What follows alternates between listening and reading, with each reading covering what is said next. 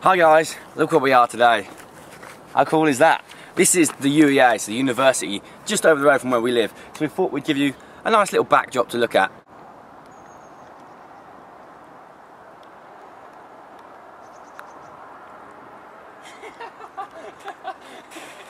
So today we're going to take you through some stretching.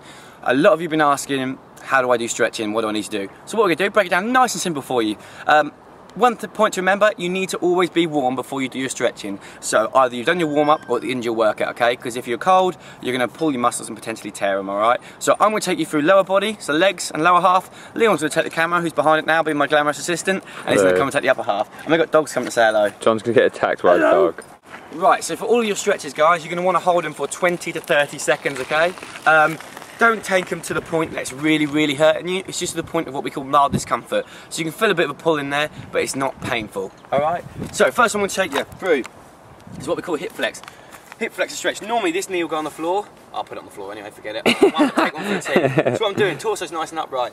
Legs are parallel. Sorry, not 90 degrees front leg. I lean forward slightly and you get a pull right down the inside of your groin, okay? So this is your hip flexors down here. And when you've done that, you're to swap legs, do the same thing the other way, 20 to 30 seconds, all right? It'll feel a little bit tighter to start with, and as the stretch progresses, it's gonna loosen off. Okay, from hip flexors, we're gonna go to quads, your big front ones at the front here, all right? What you're gonna do, you take one leg at the back, you've probably all seen this one before, but what I like to do is keep a little gap between my heel and my bum. If you pull your heel right into your bum, you tend to push your hips forward, which engages your hip flexors again, which you've already done. So what I do is keep a little heel between hip, little gap between my heel and my bum, clench my bum cheeks, really tight, and it's called antagonist stretching. Get a little bit more down the front. And like I say, the same the other leg. All right, so that is hip flexors, quads, two main ones on the front. We're now gonna go to hamstrings. So you've seen all different kind of stretches for hamstrings before, I'm sure, but this one is the one I like to do. It's nice and simple, like I use after my spinning.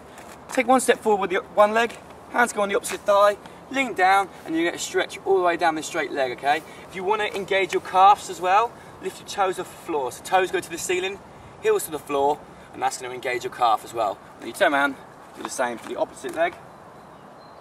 And then last two, I'm going to show you, adductors, inside of the legs, alright?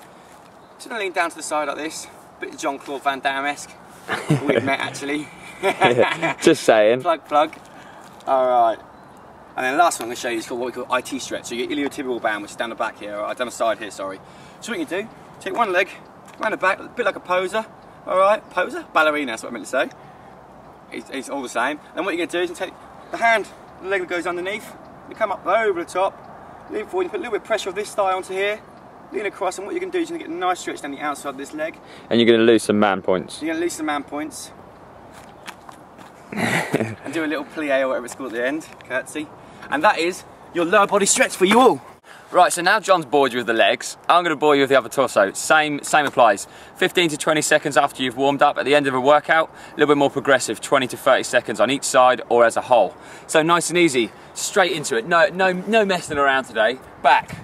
Make a basketball hoop. That's what I normally say. Push the elbows out to the side. Arc the shoulders forward like you're a big chest hat, chest bound buff guy in the gym who never trains his back. Roll the shoulders forward and really stretch on the back. Hold it for 10 to 15 seconds after you've warmed up or at the end for 20 to 30. Simple. And then from there, take it nice and easy, roll the shoulders back, hands up onto those tight little glutes. You should be working them by now and they should be getting nice and strong. You roll the shoulders back, push the chest out, show us your double D cups and uh, nice, uh, nice chest stretch, which we always like to see, which is always good.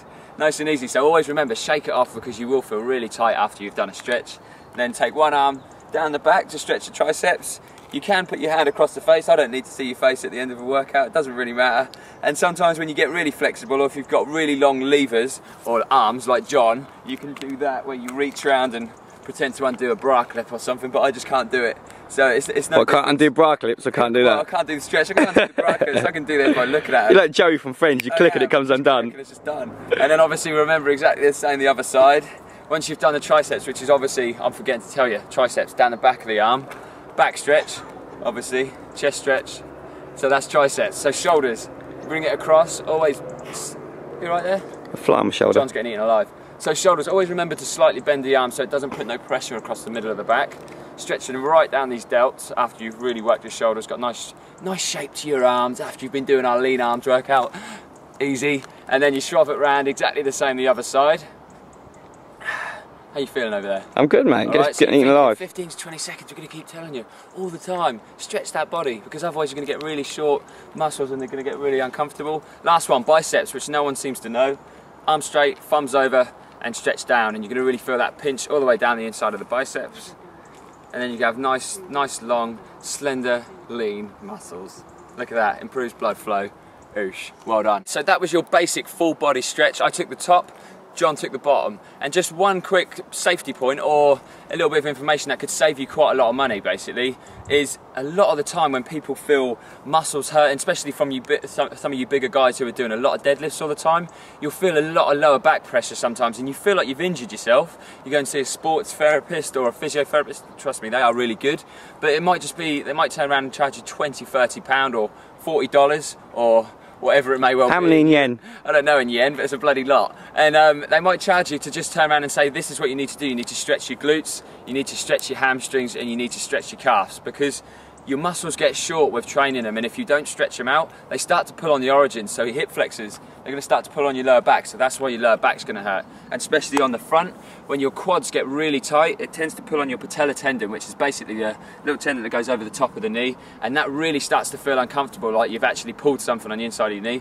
I know because I thought I'd done it. And all it can be as simple as stretching the quads and stretching the hamstrings, calves. Look at that. So just remember, stretching out is just as important to avoid injury and also to stop you feeling like you've got an injury when you actually haven't. You've just got tight muscles. So get them into your workout. Being flexible is great. Being flexible rocks. I'm getting better, so I'm getting into the V6. Your partner will love it. You your partner will absolutely love it. Thanks for watching, guys. Hope that's helped. And if you need any more information on stretching, how to do it, progressive stretching, and you know, there's loads, told it how it was. There's loads of different types of stretch you can do, but that's just the basic one. So never cold. Do them at the end of your warm up. If you do them at the end of your warm up, 15 to 20 seconds. At the end of your workout, 20 to 30. So well done, guys. Thanks for watching.